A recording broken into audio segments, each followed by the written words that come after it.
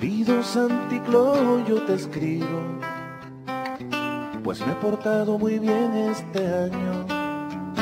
Yo soy un niño muy caritativo y a los animalitos no hace daño que me trago la comida insípida de mi abuela, que le cargo sus batules, que le friego las cazuelas. Soy bastón de los viejitos en difíciles subidas, lazarillo de los ciegos al cruzar por la avenida. A mi mamá la sigo en sus creencias y a mi papá le cepillo las botas.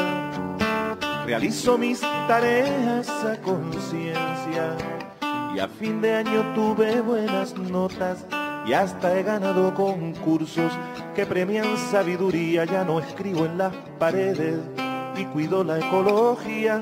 No me burlo de Carlitos diciéndole cuatro ojos.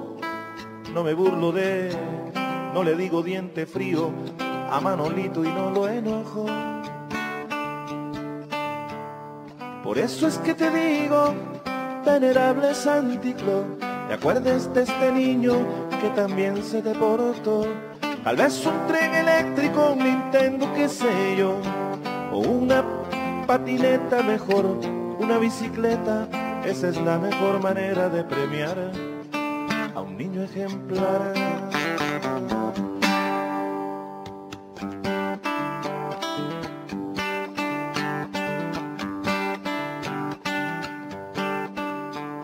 Entonces, Anticlo, es que no entiendo que me hayas traído un camión de madera, un dominó que no es ningún Nintendo y toda aquella mierda de trompeta.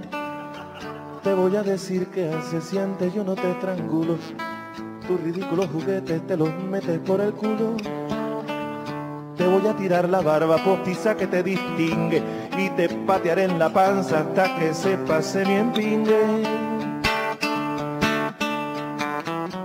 Pedante Santiclo y me disgusta que hasta el hijo menor de mis vecinos, que es un soberbio tronco de hijo de puta, enano con instintos asesinos, se pasea por el barrio con su nueva bicicleta y yo con ganas de meterle en la cabeza mi trompeta.